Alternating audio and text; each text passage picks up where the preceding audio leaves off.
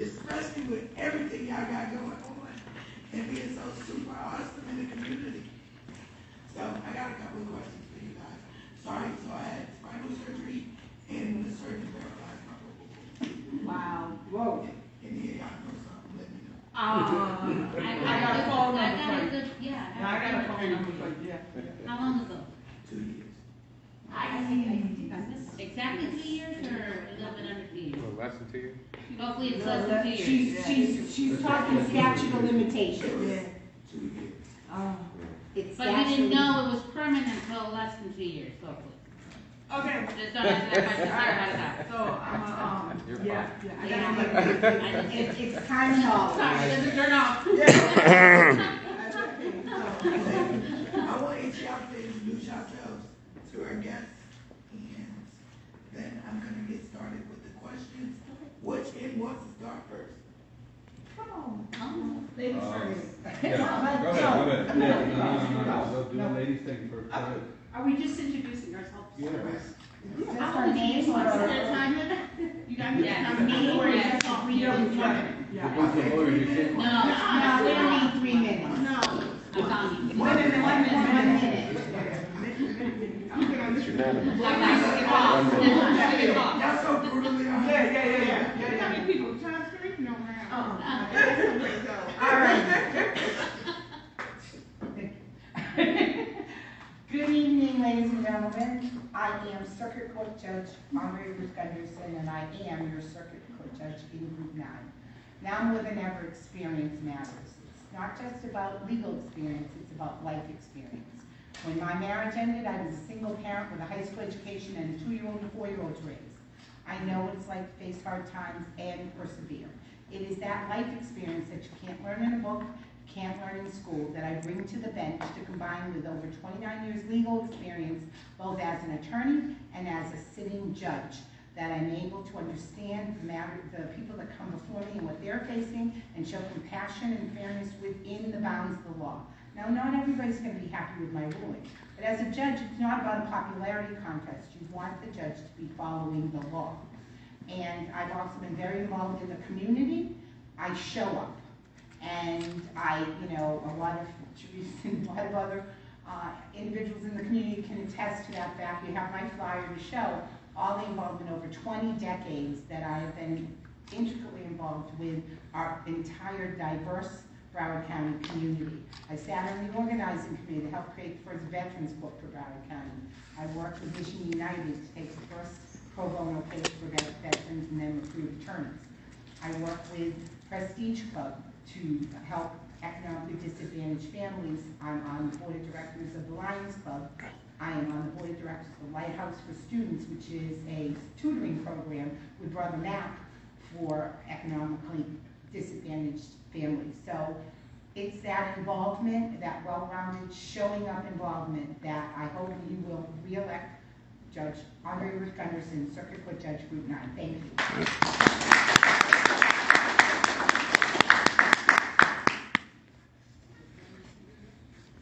Okay. I am next.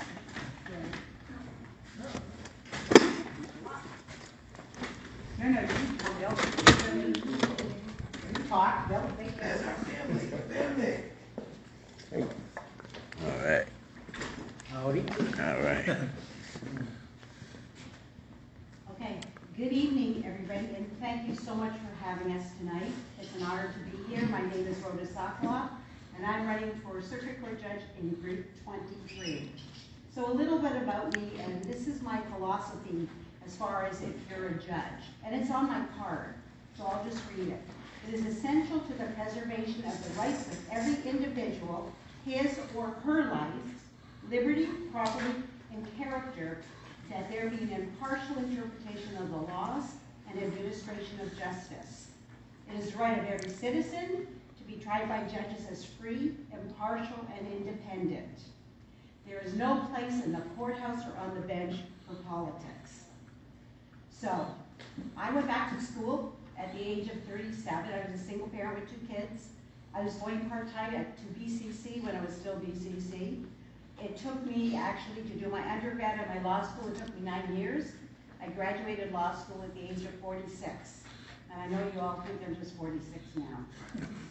But I've been practicing for 22 years. I do family law, domestic violence, dependency law, that's when the state comes in and takes your kids, and some civil litigation. I've been a guardian ad litem since 2002, and a guardian ad litem, you get appointed by the judges to represent the best interests of the child. You're the ears and the mouthpiece for the child. I'm also involved so much within the community in mental health and drug addiction. I don't know if you've heard of NAMI, National Alliance of Mental Illness. I'm former president and vice president for the Broward Division. Mm. I also volunteer and I teach a class to family members, for relatives that suffer from mental illness and drug addiction. It's free, I don't get paid for it, and I'm also state certified, so I can go around the state of Florida and teach other people to do what I do. I was also president of my Kiwanis in Deerfield Beach for two separate terms, um, and I also belong to the Damien Lions Club. Unfortunately, three and a half years ago, I came down with cancer. I'm cancer-free now. Um, down from everything that I was doing. So I'm just getting back now, and I'm back to teaching my class for. So early voting starts tomorrow. There's only one Rhoda on the ballot, so I'm asking for you to vote either during early voting or August 23rd. Rhoda Sokoloff for Circuit Court Judge, Group 23rd. Good evening. Good evening. Good evening. Good evening. Good evening. Uh, Thank you. My name is Kate Steer Early, and I am a product of the criminal justice system. I know this is FRRC, and you all strive to get ex-cons back into society. Well, thank goodness that not only am I back into society, I have contributed to society. 18 years ago, I was in a solitary confinement in a jail cell while I was pregnant with my son. And I was there because I broke the law. I was working at a shoe store and I gave away discounts to my friends who came in. And not only was I fired, I was arrested. I went through the criminal justice system and I thought my dreams of becoming a lawyer was over. 18 years later, I stand before you named top 10 attorney for criminal defense by the National Trial Lawyers Association, top 40 under 40, top 10 for the National Trial Lawyers Association for customer service and personal injury. I'm calling for a. You all don't understand how hard uh, and how much work you have to do from being incarcerated, from having the stigma of being in handcuffs, Mhm. having a mugshot, Mm. having my arrest report, look, uh, research Don't forget the research. people, and putting it out there in society and making it seem like you can't trust her. Once you do the time, you think that you're it's over, right? But it's not. So don't take it lightly what I accomplished in in uh, 18 years, because not a lot of people. I'm running to become judge so that I can not only influence others that there's life beyond incarceration, but also we need diversity on the bench. Out of 90 judges in Broward County, there are only six black females. That is not representation of our community, and that is not diversity on the bench. So on August 23rd or earlier, I want everyone to vote early for early. My last name is early, so I want you all to say it together. Early. Wait. On August, I, I want everyone to vote early for Early. Thank you.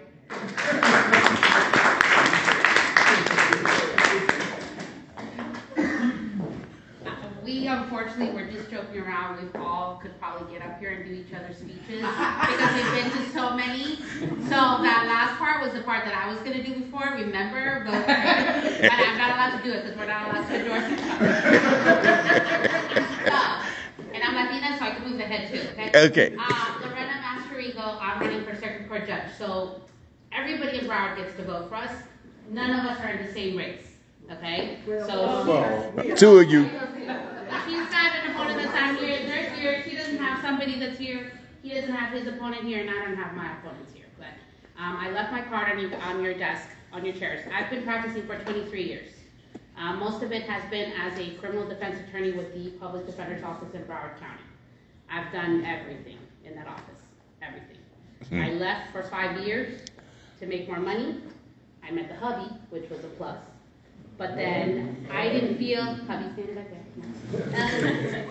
So the last name, the last name is long because of him.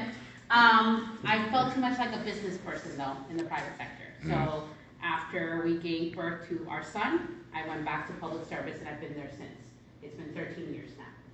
Um, I didn't feel useful in the private sector. I mean, the money was beautiful, I'm not gonna lie, but everything else just felt like a transaction, not like the connection with the community. Mm. So I now train attorneys in my office. For the last four years, that's all I do, because I've done over fifty jury trials, over fifty bench trials. I've always been in the trenches, so now I'm trying to pass it on. Uh, like it was passed on to me, I'm trying to pass it on. I also teach at Nova Law School as well, and I'm teaching the same thing, trial advocacy at Nova Law. Um, I'm very passionate about my community, and I've been involved in it since I moved to the U.S. when I was eight years old, from Buenos Aires, Argentina. Remember, I'm Latina, that's what I said before. So I've always been involved in my community, not just now for the election, and I'll continue being involved. And I've done it with the Hispanic community, with Big Mom of Team of Life. Uh, she claims both of my children. She had a dream that I was pregnant, and uh, for both of them, I found out I was pregnant a week later. So I'm telling you, that woman has the sense. So um, I just want to now bring it to the bench um, because I know from all sides, and I know my community, and we need more judges on the bench that know our community. And Hispanics on the bench, females and males right now, we only have five Mm. out of 90. How sad is that? So please remember, remember Lorena. Diversity only counts. Lorena, Group 51. Diversity counts. I'm like, nobody has anybody here, and I forgot you too. Good evening, everybody. Good evening. See, that's what I'm talking about. I am Tanya Maria Williams, and I want to be your next circuit court judge. Yes, Rhoda Sokoloff is my opponent, along with Gary Farmer. Here's why I am your best choice. In December 1989, I was sitting in the back of a courtroom. I was 11 years old. I was sitting with my mom, who was 29, my sisters, who were five and six. My father stood at the podium as a defendant. It was a drug charge. We're standing in a courtroom in Connecticut, and we're from Brooklyn. Mm. This judge looks at us, does not look like us, and says to my father, Mr. Williams, I know you want to go home for Christmas. I see your family back there, and I know they want you home, but that is not going to happen. That's what he said to a woman and her three kids. That is what he looked at us and measured us as. Mm. Not being worthy enough to get compassion, equity, and objectivity. Instead, he was condescending and dismissive. Mm. At that very moment, I decided I needed to be a judge. Not I Mhm. just wanted to be a judge, but I needed to be a judge. Because the next little 11-year-old girl should never have that feeling. The next little 11-year-old girl should be able to see herself sitting on that bench. So I charted a path, and I became a prosecutor in Orlando. My father gave me crap for it. How, how you gonna do that? How you gonna lock black men up after everything you've seen? And I told him, it's because of everything I've seen. I grew up in a building in Brooklyn where the owner of it was on America's Most Wanted. I remember that Friday night when they raided the building and I saw a cop standing outside my building with a rocket launcher on his shoulder. I remember my mom coming to the door with the cops behind her just to make sure she was saying what she was saying because her three kids were alone in that apartment. I am the rose that grew from concrete. I tell women every day, you are not where you come from, and you can be whatever you want to be. I've been a lawyer for 20 years. The oil of Olay is just working very well, but I turned 44 on Monday. I've done criminal, I've done civil, I've done more trials than everybody else in my jury and non-jury. But most importantly, I want to treat people like people. I've been on the other side of the bench. For lawyers and judges walking into that courtroom, it's a day at work. For the person walking into that courtroom that's not a lawyer or a judge, that's their worst day. And we need people who understand that. We need people who will respect that, and we need people who will treat people like people. And that's why I'm asking you, that 11-year-old girl, her name is on your ballot. Dr. Encircle.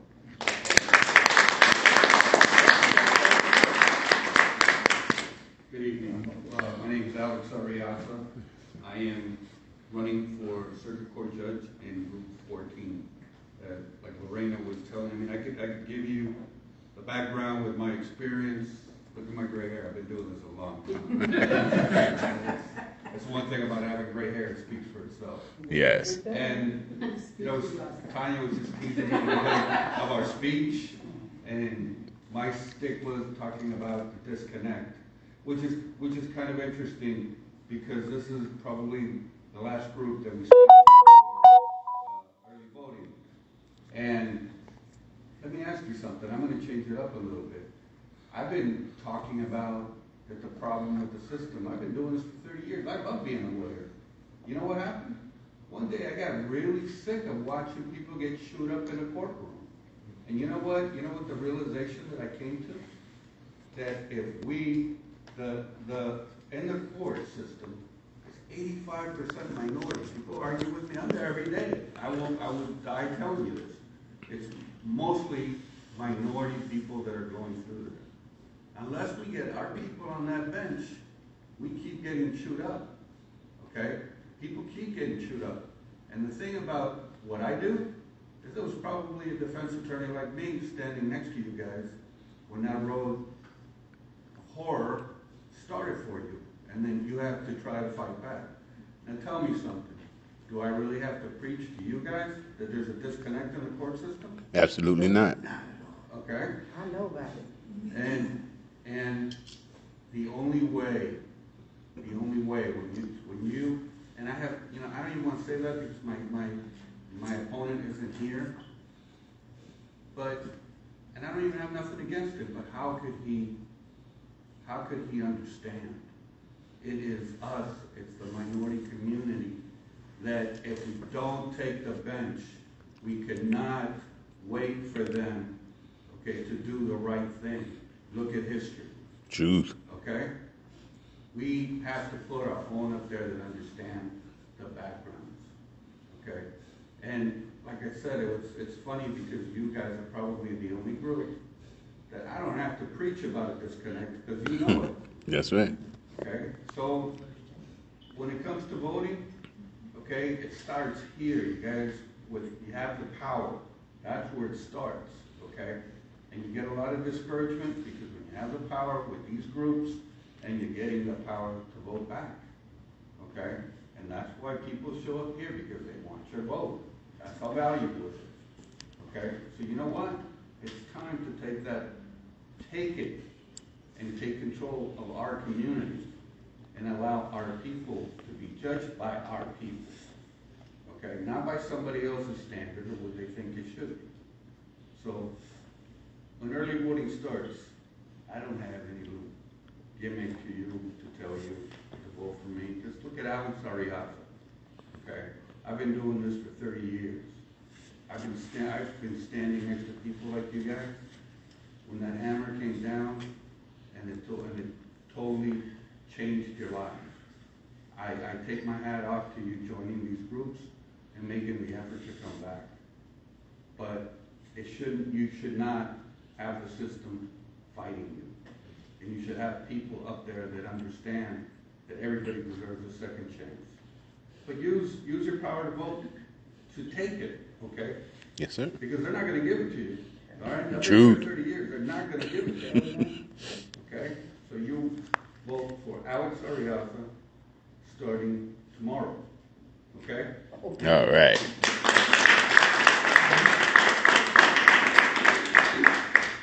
Thank you. Okay, so now, Mr. Darby, we started down here. So now we gotta start with you with the questions. Quick question, I'm not trying to take over the meeting, okay? Who's keeping the time, so that we can be on schedule? What is the schedule? Give us a time limit, because I can talk, I can talk to you for a long Yes, you time. can. I just want to, I just want to be fair, you know, keep a strong timer, a minute per, per question? Yes. Okay, thank you. Okay. I'll start after you finish the question. Go ahead. Yeah. The minutes start when candidates start. How effective is our court system? Horrible. What changes would you do, would, would you make to it shifted? first thing, and really the, mo- the motivating force that made me go and become a candidate was, you know, people, I guess you have to be in court to really experience the disrespect that judges show towards. I mean, you know what? I'm starting, I, I would start to think that they had become so insensitive about the people that are coming before them. They just, they're, they don't care. And they have to start to care right from the beginning.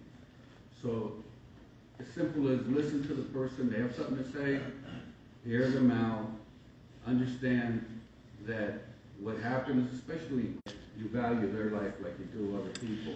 And I, and I guess, you know, most defense attorneys and you guys, you understand where, where, when you go through this, Finish your thought, finish your thought. Finish three words or less. well, I think you guys got. Okay. Same one? Yeah. Okay. Um, what's wrong with the court system? Two things. The first thing is procedural, where it's not as efficient as it needs to be, especially with the backlog that we have, because Broward County was shut down for a year, because that was a good idea. Um, I know with the pandemic, we had no choice in certain things, but it really has created a backlog that needs to be cleared out. And we have to give the attorneys, um, mainly on the criminal side, the prosecutors and the PDs, the opportunity to actually work some of these cases out, because they're carrying too many cases. On the human side, because one of the things I keep saying is the whole is only as good as the sum of its parts. That's what they taught us in geometry. Well, this whole, its parts are human. And we need a better understanding of a conscious bias. We need to understand that, yes, racism is a form of bias that needs to be eradicated. But there is a form of unconscious bias that we need to be more aware of on the bench. Hmm. For example, okay, never mind, there you go. We gotta fix those two things. And next. Somebody get the door. Same question? Yes. Okay, let me read the question. How effective is our court system and what changes would you make to it? Um, our, our courthouse is not effective, and our firms are not effective. There's tons of reasons why. Um, I don't think that people are actually given the time to explain what's going on. A lot of people appear in the courthouse without attorneys. But even the ones that do appear with attorneys, my thought that I've seen over and over again, the judge should take the time to explain why they're deciding the way that they're deciding. It has become very much of denied, granted, and the judge makes no explanation to the human being that's standing in front of them. I know a lot of the judges try to rely on the attorney explaining to the client, but Yes. I don't think it's appropriate for, More people coming. I don't think More it's people coming. appropriate for the judges not to care and not to explain it and only rely on the attorneys to explain it, because that just gives a whole bad sense with the person and the court.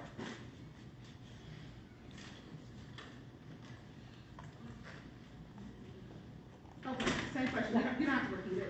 Um, there's some good and bad about Broward County. Now, I've tried over one hundred trials to verdict, jury and non-jury in seven and a half years. So the good thing about Broward County is we have a good technology system where you can pull up the docket and you can see everything that was filed with this public record versus Miami-Dade County. So that's the good thing. It's not all bad. There's two bad things about Broward County that I've just gotten sick of, and I'm gonna be real honest. It's the judicial temperament of these judges. They feel privileged once they wear this robe, some, because I've been in front of good judges, and there's some good judges on the bench. But one thing I noticed is, as a criminal defense attorney, and I'm just gonna talk about the main problem, we have the highest burden. If we lose, our client goes to jail. Their freedom is restricted. So don't stop me from talking and laying the record, because if I lose, at least I can have a record to appeal. These judges, they just want to get through the case, they'll shut you down, they'll tell you move from the podium. So you have to have respect on that bench, or you're gonna, you're gonna lose your position. So that's the main problem. All right. You don't have to repeat the question. I'm gonna use Alex's word there, there's, there's a disconnect. Um, I do primarily family law. And I have to tell you, because of the pandemic, we're still doing our hearings via Zoom. We're not back in the courthouse, and there's such a backlog. I have a client that I was trying to get her a child support hearing. I called up about two months ago. The first available date was December. I'm thinking, what is she gonna do from like April, May until December, when the father's not paying any child support?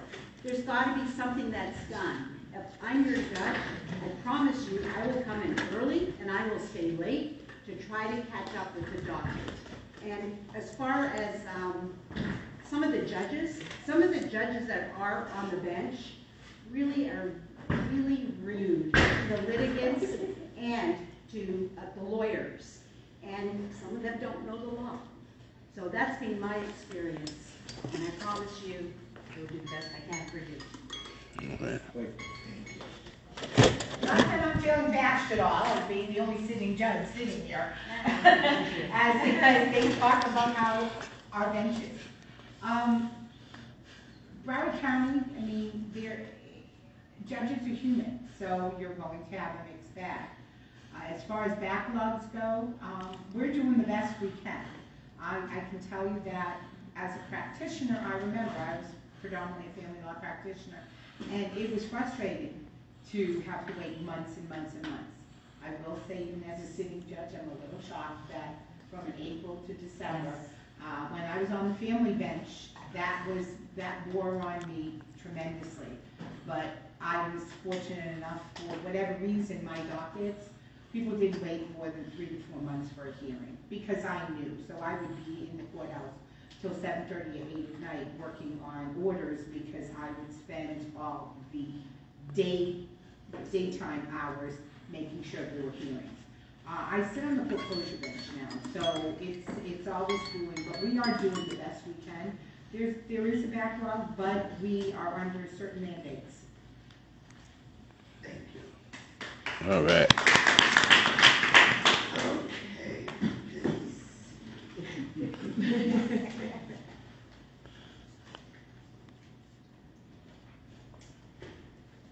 What does social justice mean to you?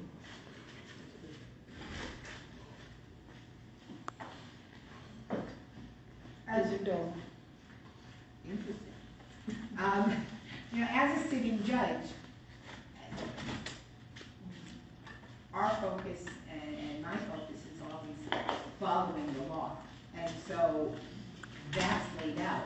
So when we talk about social justice, we have discretion in some areas, but we don't have a lot of discretion in others. Um, I know that when you're talking about, um, restoration of rights, there was a law passed, but yet it hasn't been effectively implemented to effectuate what the voters had said there should be.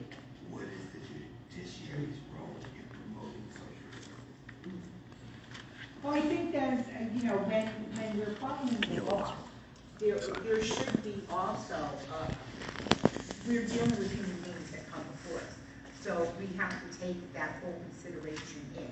But again, our discretion, depending on what divisions they're in, and what the law is, is limited. Now, as far as like, I believe, and, and I, I'm one of the judges that is out in the community. Because if you're not out in the community, you don't know what's going on with the individuals in the community. And that's where the social justice issue is, is because if you don't know what they're going through, sitting on the bench, then you're isolated.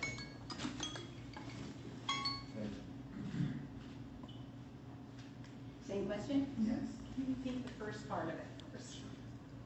What does social justice mean to you? And what is the judiciary's role in promoting social So when you say social justice, to me, that equates to equality. Um, where, for me, I, I believe that everyone should be treated the same. Not, be- not better because you're white, not worse because you're black the law should apply exactly the same no matter who you are or what you look like or what your background is. So that, that's what that is. Um, as far as the second part, judiciary, I'm sorry, what was it? What's the role What's the role of the judiciary? Thank you. to, to make sure that you treat everybody equally that comes before you. Follow the law, and the same law applies to everybody, no matter black, white, whatever you are, the same law applies. Well, I'm gonna answer it. Wait till you start my time. I reclaim my time. I'll answer it together because it's more of action instead of a philosophy. Because we hear this time and time again. We hear it during politics, we hear it at campaign rallies and protest movements. We hear that it's supposed to be justice for all, equality for all, and uh, justice is not supposed to be attached to any form of financial status or your race. We hear it a lot. But the question is, do we see it? And obviously we don't. We know that there's a disparity with sentencing, specifically amongst minorities. And why is that? We have to look at the root of the problem. The root of the problem is the bench. How is it that we, there's, there's no other explanation? Because if we have this continuous um, increase of incarceration, specifically for minorities, then who is sentencing uh, or doing the sentencing? We have judges. Now, half of the terms are mandatory sentences where the judges have no discretion, but the other half, judges have discretion. So again, it goes back to having diversity on the bench, not just black people. We need um, other other uh, diversity, other minorities on the bench, so that we can get closer to social justice. Instead of it being a philosophy, it can be reality. Amen. Walk into any criminal courtroom, and you will see the majority of the people that are in custody are minorities. And it's because they can't afford the bond. Okay? And that goes along with sentencing. There was one case in the courthouse a few years back where two individuals, one was a rich white male, one was a Hispanic male. Both had gone drunk, both drove, both killed pedestrians. The white male had a lot of money and in a civil lawsuit paid the family of the deceased a lot of money. He got out on supervision. The Hispanic male had no money, he got sentenced to prison. And it happens. And yes, there's all types of reasons to go below the guidelines, and if the family gets that restitution since they lost shouldn't be the only reason. They both committed the same crime in the same way. The Hispanic actually stayed with his car until the cops came. The white male left. Mm. So that happens in that courthouse every day. Judges are the ones that have to check that. We have a judge right now that's on the bench that got bad, uh, arguments against her because she called out for prosecutors for sentencing two people charged with the same thing different. And everybody came up in arms. She did the right thing. And we need more of those judges. And we need people to realize it. If you have two people that do the same crime, it shouldn't matter that this guy has a lot of money and this guy doesn't. That's true. That's right. That's true. Okay, so what social justice means to me is that justice in society should not differ because of what I look like, where I come from, or how much money I make. Um, I should have the same opportunities as someone in Parkland, as someone in Victoria Park. Um, that's what social justice means to me. What the role I think the judiciary plays, I'm a little different in that I think it's not just the judiciary because it's the police departments and the sheriffs that are charging them and bringing them in. It's the state attorney who makes that charging decision. So by the time you get to a judge, their hands are partially tied but not fully. So the job of the judge is now to look at what you're doing. How are you sentencing people? How are you treating people? And I'll tell you something I did in my 36 seconds as a prosecutor. A black man was stopped by an officer for doing 69 in a second. First of all, how is that a problem? Second of all, I'm looking at him because he now has a felony charge based on this stop. I dismissed that case because it was wrong. That was not justice. That was not something that should have been done. He was stopped incorrectly, and I should not further that problem. So as a judge, I should not further that problem. Mm-hmm. If, if there is something that has to be done based on what the sentencing guidelines say, you have to follow the law. You don't have that choice. But you can look at people as people. You know, um, That's such a, that's such an interesting word throughout my career. I hear that, social justice. And you know what, the older you get, you know how you change with that, right? As a, as a defense attorney, I can tell you midway through, when I saw the things that they're talking about, the disproportionate sentencing, as a lawyer, I said, you know what, I'm not, I'm not gonna take this. Whatever they're gonna, whatever they're gonna do, whatever I'm gonna get punished, I'm not gonna take this from a judge, and I'm gonna, and I'm gonna take him to task. And they came close to getting in trouble a few times. And, but you know what? But the problem is, is the people in that courtroom actually don't even realize that they have the power. Because some of these judges, you know, there was a rule a long time in Broward County, you don't run against the sitting judge. They just made that rule up, okay? They just made that thing up themselves. And, and for years, you couldn't, you couldn't go against the sitting judge. But they made up that rule, and they made everybody believe that that was the way it is, and that judge was a god, and they're not. They're not. You guys get together, you get enough votes, I guarantee he's gonna listen to you. Because now it's an elected position, it's not an one. That's So right. you can achieve social justice, but it takes a lot of hard work, but you can do it. You know, and I know you guys understand it because you formed this group. Now, what's the justice system? They're supposed to do the right thing, okay? But you know what? I tell you, and I say it to this group, they ain't gonna give it to you, okay? You They have to should take do it. the right thing, but they're not gonna give it to you unless you make them give it to you. And you can do that with the vote.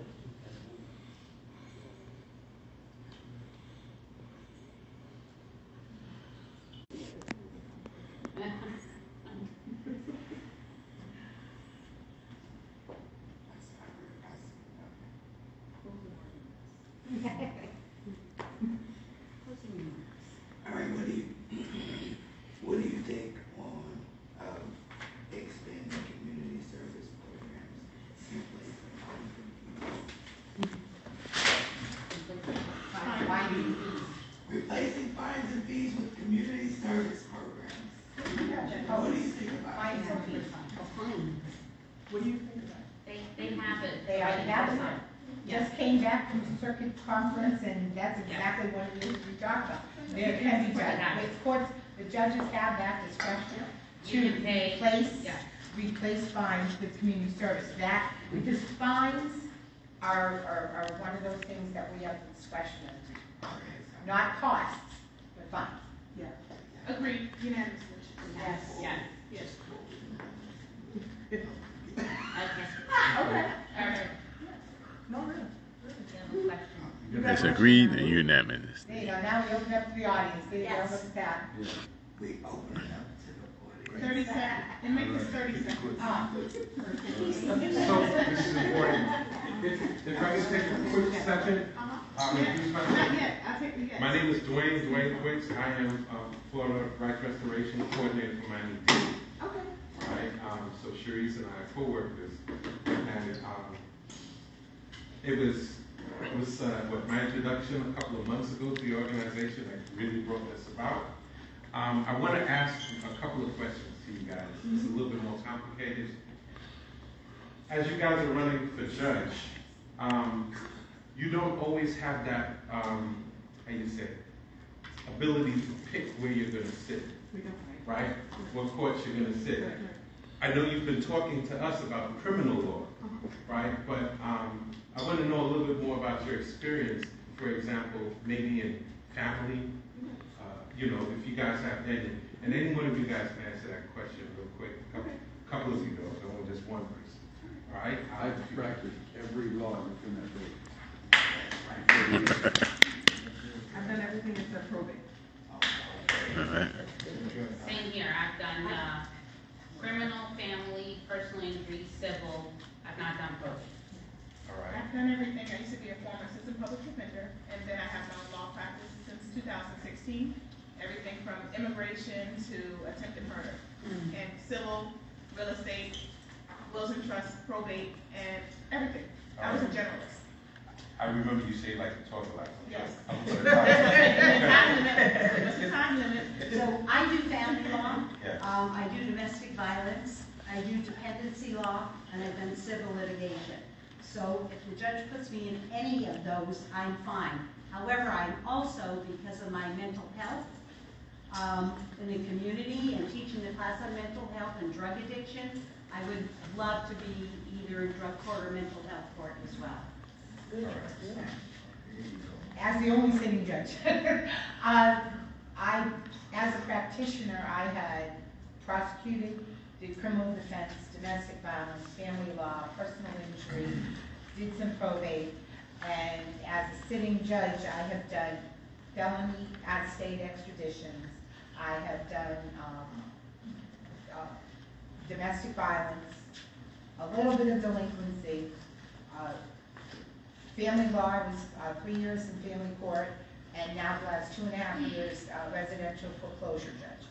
So I've also, part of our duties are, I do first appearance, so bond court, because we have those, that we're, we have our assignment. Uh, I do, um, RPOs, the risk protection orders as well, forfeiture orders, so I have that background. I've done jury trials as well as bench trials, practicing, uh, but on the bench right now, the divisions I'm in, uh, are not jury trials, they're not jury trials. All right, Judge, looks like I'm gonna put a timer on you too. I appreciate it. My, my next question, um, is, what do you guys think about the disciplinary system that exists for, let's say, rogue judges and officers? Um, I'm sure you're gonna encounter that, um, or have encountered that. Do you believe the system is adequate? No. What, what can change? What do you think can change about it? I may actually put a time But you know what though? The, uh, and I, and I can answer that one pretty quick. You know what, You- had an interesting first question. You just, when I keep preaching about the power that you have, you know who does decide who, who goes over a certain court system, over a court? The chief judge, and guess what? His is an elected position too. And guess what he needs? He needs your vote. And as long as you keep reminding them of that, they'll take you into consideration. Now, the other part, when you, when you gotta call them to task. When they do something wrong, one of the things that I do, and I, if I see a judge do something wrong, and they're showing favoritism or something, I will, I will file a motion to recuse immediately. Mm-hmm. I probably have filed more of those than I, anybody I know. And if I have to go further, but I, they are human beings, they are not gods. You call them to task. You know, when you're a young lawyer, you think it's a big deal, you gotta do it, no, you don't. As the years show you, you know what, you call them a task. Because you know what, they got people above them too. So, the JQC, um, the Judicial Qualifications Commission, right, Um, that has changed, and the Judicial Ethics Commission has changed a lot just over the last five. There were times where, um, the judge almost had to kill somebody to be removed from the bench. That is no more. They have gotten really serious about, um, the investigating and, and acting. You, you know, there, I don't wanna disparage anybody, so I don't wanna call names, but there are judges who have been removed because, uh, they were dishonest in the investigation. There were, you can call the names, I won't. Um, there were judges who were reprimanded because they let their anger get the best of them, because they did not act in a judicial capacity. The, the light that is being cast on the judiciary by judicial conduct is being taken a little more seriously, I think, just based on what I've seen in the last couple of years. Um, is it a perfect system? No, because some of it is self-reporting. That's the way the legal, the lawyer system is. It's self-reporting, you know? So sometimes you'll go to a colleague and be like, hey, don't do that no more, instead of actually turning them in. So it's one of those things where everything has its flaws, but I do think it is coming a little further. Thank you. You never started this for her, it's okay. I'll talk less than a minute. Um, we used to, a bunch of years back, used to have a, uh, survey, a written survey that you could write on each judge, and they stopped it. But now we have advanced so much with electronics, we should be able to have something like that where you can enter it anonymously, so that attorneys would actually say the truth about what they think the performance of the judge is, and the judge should be given all of those comments. Some of our judges, I think, will react, because maybe some of them don't realize that they come across a certain way. Some of them unfortunately won't. But I think that now with technology, we should bring back that kind of survey and let attorneys actually answer questions and say what they truly think, but anonymously, so that the attorneys will actually say the, the, what they actually think, and not be afraid that the judge is going to treat them poorly because they were honest about it. Mm-hmm. Give me thirty seconds. Before the judges who gets on the bench, be an informed voter. Make sure you are researching who's on the ballot. Because this right here, we can tell you anything. We can put a smile on our faces because we want your votes. So beyond this, you have the cards, use the internet. Talk to your neighbors. Because we as lawyers, we have the opportunity to actually sit in front of these judges. We know their personalities when they're in court. We know their personalities when it's not voting election season. Because some of them have some strange personalities on the bench. But then you see them on the campaign trail and they're like, you know, hey, I'm the friendly neighbor. No, you're not. So research them. That's and research me. Casey early. And you'll see all my stories, okay? Took forty. I reclaim my time. I need some of her time, I need like a minute and a half. I have a personal experience with, um, a particular judge, and I'm not gonna name the judge. Um, But for some reason, I think she doesn't like me. So I had a hearing in front of her to try to get, um, let's call it an exceptions hearing. I was trying to get my client her attorney's fees that should have been awarded to her. So the judge, when I, I'm doing my argument, the judge says to me, you're not doing this for your client, you're doing this for yourself. And I went, and I, I responded like, "Judge, I don't even know what to say, I don't know how to respond to that. Then another issue, she kept bringing up about child support, and I said, we're not here on child support. So she says, if your client would have gotten the cash app, I mean, since she didn't get the cash app, clearly she didn't need the money bad enough. So from that, I asked the judge to disqualify herself. She denied it. I took it one step further to the chief judge, and I wrote a letter, and I've never done that in my entire practice. And I don't know what the chief judge did, I think he just sent it to one of the, the chairs in the family division, one of the other judges. She became a little nicer to me for about two weeks, and then she went back to her normal nasty self. So I didn't get any relief. A lot of us can relate to those experiences. How long does Ms. Gundersen? Judge Gundersen? Judge Gundersen. I think the question was regarding the JQC. I know we drifted off of that, but I thought the question was regarding the JQC and how effective it is, Yeah, the, the Okay. disciplinary system. the disciplinary system. Um, the, the JQC has evolved. I mean, I've watched the evolution of it where they're not taking, they're, they're taking very seriously now the issues that are being brought up. And when the, um,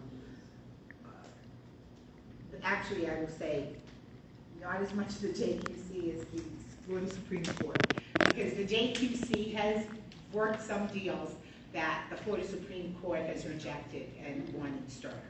So, and I I acknowledge that the JQC sometimes will be a little more lenient, but the system's working because the final say is with the Florida Supreme Court.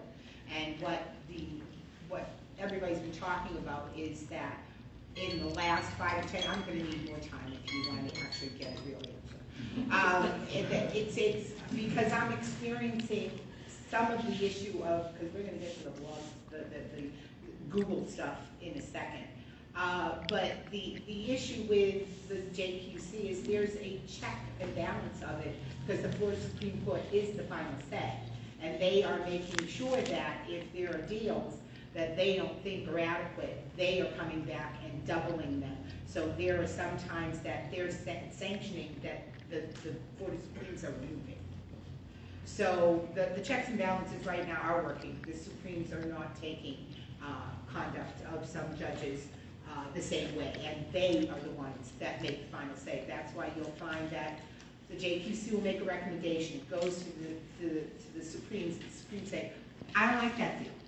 So now you're gonna go back and get a trial, on one record, and then we'll make the final decision. And a lot of times what you'll find is judges don't want that trial, and they'll resign. So there's been several that, that's exactly happened, that they will resign rather than go the trial. As to, and I'm gonna bring up this because in a contested election right now, uh, as I told you, it's not a popularity contest. So if you're gonna go and Google, then I recommend that you really check the sources of your Google. There's a lot of fake news out there and disgruntled people. So, and I am right now the target of a vicious attack through, uh, a, uh, uh, a, defense act that Hope Society and actually the people behind it, Google can do it, um, one of the, who's facing bar action for attacking judges. My name is Jerry, you know, I'm not going to feel consent file to but. And I apply so when you're Googling, look at the source of the information if you're gonna be Googling. Can we all have equal time, because we all have places to go. I have four children, I have a son waiting for me. I'm I'm done. done. Ladies and gentlemen, ladies and gentlemen of the jury, my name is Kate Pierre. I have waiting for me, so we don't have a time, it's not going to be fair. I, I I'm sorry, let's wrap. I'm sorry, she, she did mention it, and I, I'm trying, we're trying to be real hospitable, so that everyone can get their point across, because for us, it- we really wanna know what you guys really think and feel, and we've been through all of. You guys, please try to, your best to honor the time, right? Um, you guys are the professionals, and we are the, the citizens. I have one last question I'm gonna ask. This is the last one, but I have one more, because it's something that came to me when Attorney Lawrence Lorena? said something. And I, it's, it's actually an opinion, I, it may, uh, I'm gonna ask it anyway. What do you think of the idea of judges writing opinions on sentences, after sentences? What do you mean? Yeah. So, so some states carry that law where, uh, people leave, uh, judges leave a- opinions upon their sentence. Something like a case report of why they, they made the sentence. An explanation. An explanation, Yes. right. That's This what state does not require that, No, as it is right now. What do you guys Except feel certain about that? circumstances. In certain circumstances, you may. And I, when I, when I run into a situation where I think it's gonna be a problem, I ask for it to be written. But here's the problem, and maybe I'm, maybe I'm a little bit jaded and I've been in the system so long, because what they'll do is they'll come up with their own conclusion, and they'll give it to their law clerk, they'll find out to back up what I said. So in some circumstances, uh, a judge does have to explain the sentence. For example, in a downward departure, you have to give the ground for that downward. Um, I think as human beings, here, actually, let me back up. A judge is not supposed to give legal advice. So here is the challenge that each judge has they're executing a sentence or imposing a sentence that it may be bargained for. It might be part of your plea. Well, your lawyer was supposed to explain that to you, not the judge. Now, if it's not a deal that is bargained for and the court is imposing a sentence after trial, if there's a question, it should be explained. But again, the judges have to walk this fine line of not giving legal advice. And the truth is, I would have rather that judge not give his condescending explanation and just deny my father the bond than to say what he said. So sometimes you have to think about what you're saying, and I don't know if that's always processed. So the context that I brought it up in was, some of our judges love to say, hear the hearing, hear everybody arguing, and say, okay, I'll make a decision, and say you guys be lawyers. And I, I don't appreciate that, I don't like that. I, I think that for everybody who's in the courtroom, you're the judge, you're in charge, you're gonna make a decision, I understand sometimes you need time to think about it, so come back another day with them in the courtroom and say your decision then, face to face, and explain it. Um, unfortunately, I have seen too many attorneys that don't explain things well to their clients, so I think that the judge should. They don't have to give any legal advice, but they could say, you know, uh, Mr. Smith, unfortunately, based on the record, based on the evidence, I think that, you know, the best thing for you or what might help you will be this. I hope you take it seriously, whatever it is, but actually take the time to have that human conversation with the person that is in front of them. And it's the same in family law and in every other division. I agree. I mean, I used to be an assistant public defender and I worked, uh, in front of the juvenile division. And this particular judge, before he rendered a sentence, he would always not only explain the sentence, but he would then, uh, cite case law. So it transitioned from me being a lawyer to now I'm writing down this case law and then I would keep this case law because, again, judges are supposed to rule based on the rule of law, not on their feelings, not on the person before them. So when a judge gives you, renders a decision and then backs it up with the law, although you felt like, okay, I lost or this motion was denied, you still know, okay, but it was based on the law. And I utilize that law for future cases when I'm, when I'm arguing a motion, because I'm like, Your Honor, you use this law against my client, then I know this case law is on point for my client in a separate case. So that's all we want. We want an explanation from the judge so that we know that you're ruling not based on your feelings, but based on the rule of law. So, in the family court, because I don't do criminal, um, I've just gone through five trials in the last couple of months. I just got slammed with trial after trial. And in one of the trials, thankfully my client did wonderful, and when the judge made his ruling, he actually said, I find this, and this is why. Because there's statutory factors that they have to go through. So the judge explained that. Now, in another one, it was another two-week trial, all she said, and it was actually general magistrate, said, your client didn't meet his burden, your client didn't meet his burden, her burden. And that was it. So, that, when you don't get a, a ruling with the explanation and whatever the law is to support whatever the judge is going to rule, you can take an appeal. I mean, that leaves you open for an appeal. So, I, I, but I do believe that a judge, when they're gonna make a ruling, if you're gonna reserve, and I've had this happen, I'm gonna talk really, really fast, they've called us. They've called us, both lawyers, and given the ruling and why, on the telephone. As a sitting judge, I've just made it pretty much a policy, I don't reserve ruling, I rule from, I rule on, the- from the bench. So, because I believe that when they make their argument and they make their case, they should hear the reasons why I'm going to rule. And so I, and, and when I was on the family bench, family, um, the family rules really do require very much specificity. And in fact, um, one of my predecessors had volumes of reversals for that specific reason because the criteria wasn't laid out. So I was very careful to make sure when I made my ruling, went through the statutory reasons and explained all the reasons. If it was gonna be a hard pill to swallow, there would be times when I turned to the board as far as custody or because of substance abuse or something that I explained.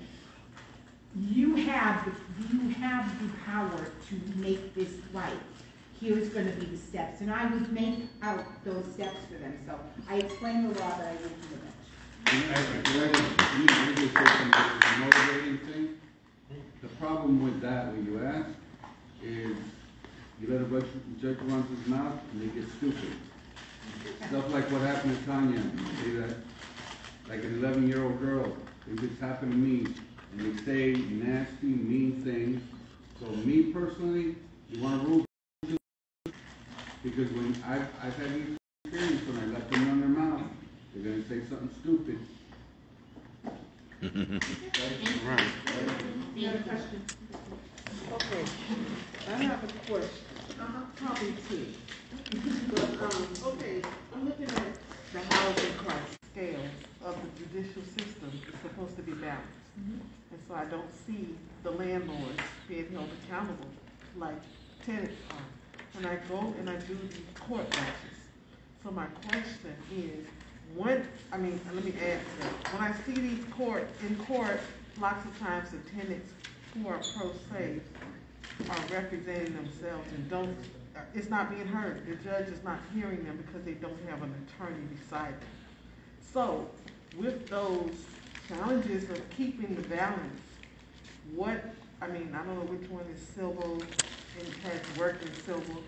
What changes do you see that you can make to make sure that it's balanced when it comes to evictions that are happening? And, it- and whether it's the process, because I, I, I seem to think that the mediation needs to be before the landlord files it, the, the eviction to keep the case, but what changes do you see? So, we can't tell you how you would move on something, because the rules don't allow us to do that. But, that's a listening problem. Here's say that's a listening problem. Is that person representing themselves, they're, they're the party. They still have the right to be listened to. They have the right to be heard. That is the whole point. So you have a duty to listen to this party, let them present their case. And I think what happens is because judges are human, they get frustrated because it's not what they're used to. It's not a lawyer standing there presenting the legal argument in a linear way that they can process it very easily. It's a person who is in their worst day trying to communicate what they're thinking and what they're feeling. So that's a, you have to stop and listen. That's what you have to do. As far as the legal process, some of that's dictated by statute. And the judge can't get involved until there's a.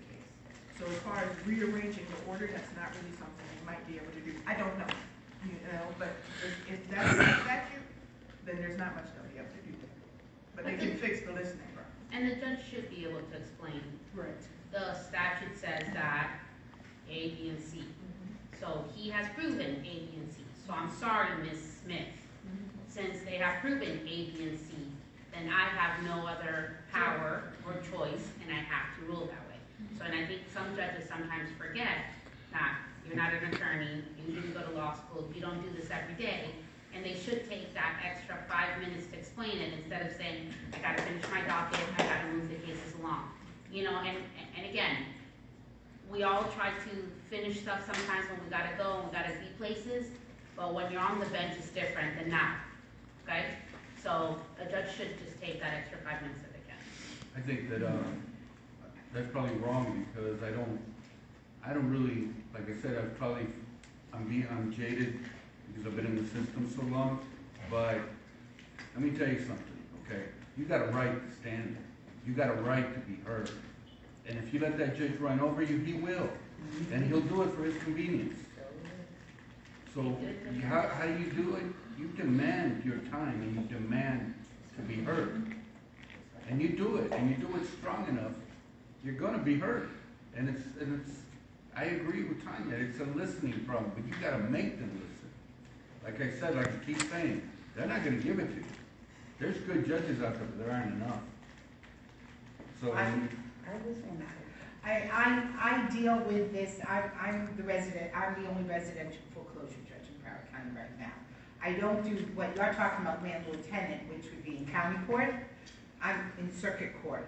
But I deal with the issue you're talking about, that I have to explain the law to tenants when their landlords, who are the owners, haven't paid the mortgage, and now the property's been sold to somebody else.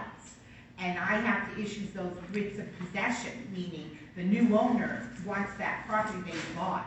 And the tenant who didn't know that the landlord wasn't paying.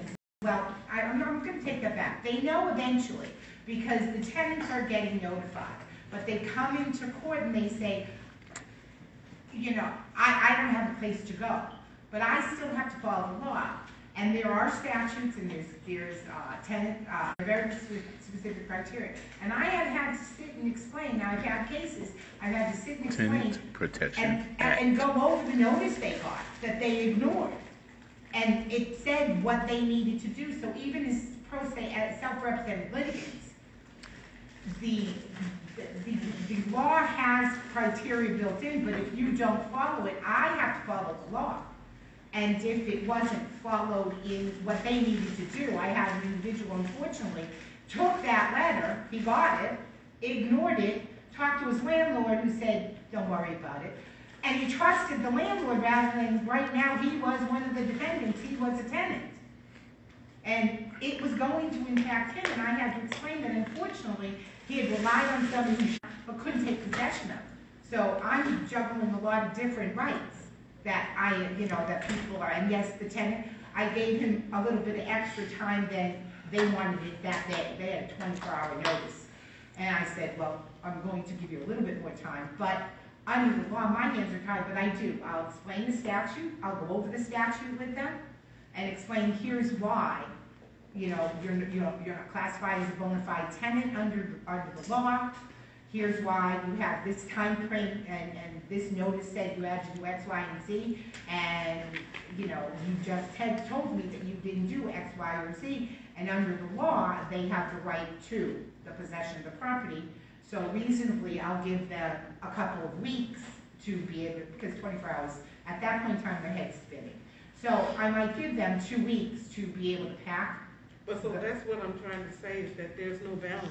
The landlord has been given the opportunity to do whatever. The tenant is not igno- ignoring the document. The tenant is up under stress, they're about to be evicted. So what I'm saying is that there needs to be some balance, what changes can happen so that this landlord has done the things, some of the things wrong. Nobody knows what he's done wrong. Let's say code, code violations. Let's say the landlord, the amount that they put on the document says that they owe this amount of money when they don't, but they, the tenant has to put that money down just because the landlord says it. What changes can be done to bring a balance? Because the tenants are not ignoring what they have to But are do. you talking about changes in the law? Yeah, fifteen seconds. We enforce the law, we don't make the laws. This is a conversation for your, Well, that's what I'm saying. elections Thank matter. you, that's it, that's it. But you're asking, you have, that is a problem, but you're at, we only enforce the laws on the book. That's why we have the judicial branch, the legislative branch, and the executive branch. We don't break Your the laws. local congressmen and women senators, they, those are the ones that, that make the law. So that's the root of the problem. We have to follow the law. You see what I'm saying? So do you see that as the problem? That And- is the problem, but we can't, we can't so solve. from a point of view of being just a normal person, what changes do you think can be made? We can't talk about Can't- that. oh, you can't talk We, about we, that. we, we- well, well, They're, we're, they're we're. I got you, I got you, because I knew it was some things you can't say, but, you know, hey. Thank you so Thank you, everyone, for your time. God bless you all. Thank you so much. Hey. And this is the doctor, and uh, you've had here live. Uh, no place else. Okay? Um, what we're doing here today is awesome. We've had our candidates that have come.